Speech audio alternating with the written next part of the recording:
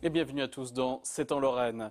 C'est ce qu'on appelle être passionné depuis toujours. Auguste Cuissance aime les trains, il rêve même d'en conduire. Alors à 18 ans, eh bien, il a déjà inventé son propre simulateur tellement bien fait qu'il en a vendu à des musées et même aujourd'hui à des entreprises. Franck Gaillet et Bruno Courteau.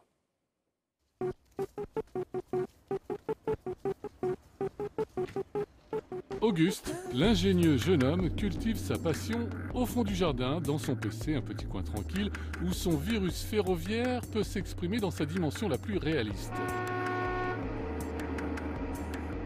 Moi j'étais plus passionné par l'électronique informatique à la base.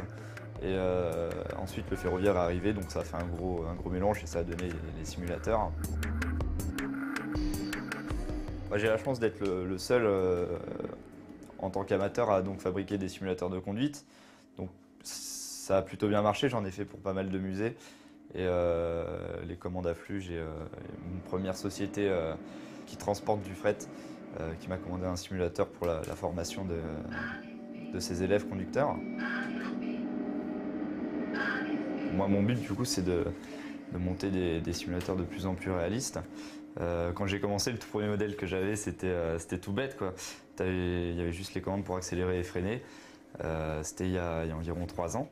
Auguste est accro au rail depuis l'âge de 5 ans. Famille, cercle ferroviaire, réseaux sociaux ont formé et encouragé cet autodidacte acharné qui a construit son premier simulateur à 15 ans. Pour le reste, système D, récupération et contact dans le milieu lui ont permis de développer des outils de plus en plus perfectionnés jusqu'à équiper la Cité du Train à Mulhouse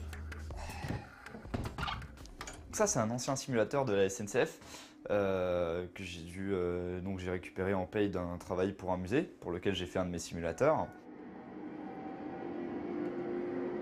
Là, ce que vous voyez, c'est donc un logiciel allemand qui s'appelle Zuzi, ZUSI.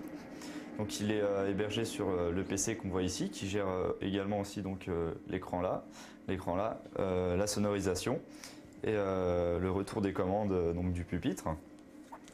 Il est euh, relié par un serveur au deuxième PC qui lui commande euh, les trois écrans tactiles qu'on voit ici.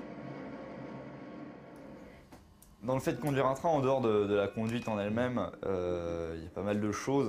C'est-à-dire qu'il faut tout être, c'est un métier où il faut être tout le temps attentif. Il y a des horaires décalés.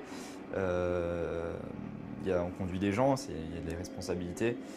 C'est, un métier très prenant, j'ai envie de dire.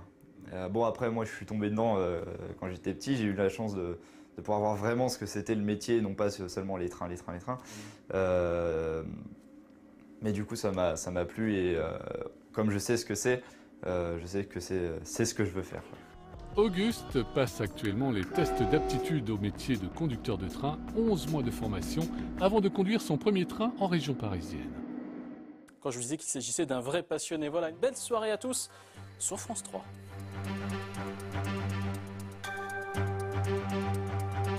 Retrouvez toute votre actualité régionale sur l'application France 3 Régions. thank you